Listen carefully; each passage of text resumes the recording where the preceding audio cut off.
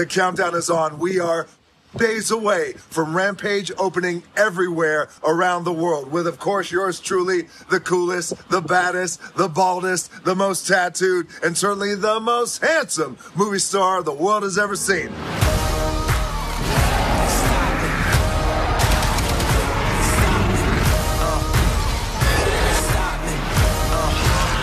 Oh, shit.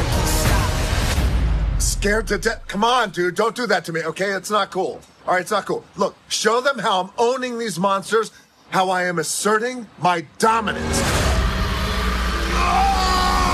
It's the wrong clip.